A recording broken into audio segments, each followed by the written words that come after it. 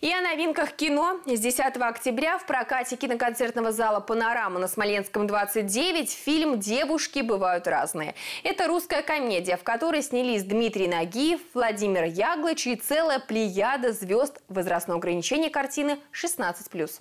Сюжет фильма «Девушки бывают разные» расскажет о трех товарищах, которые решают отдохнуть и для этого отправляются в Мексику. Все было просто прекрасно, но друзья умудрились навредить местному криминальному авторитету. Без гроша в кармане и без документов. Им нужно найти выход из сложившейся ситуации. И судьба решила сжалиться над молодыми людьми.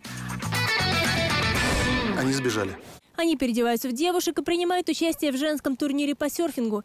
Ведь в случае победы они получают 100 тысяч долларов и возможность покинуть страну. Но все оказалось не так просто. Подъем! Простите, пожалуйста, я с этими погонями я реально не высыпаюсь, правда.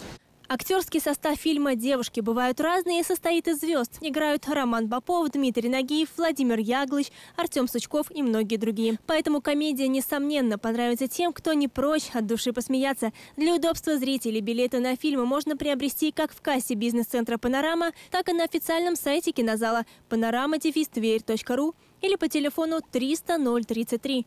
Возрастное ограничение фильма 16+.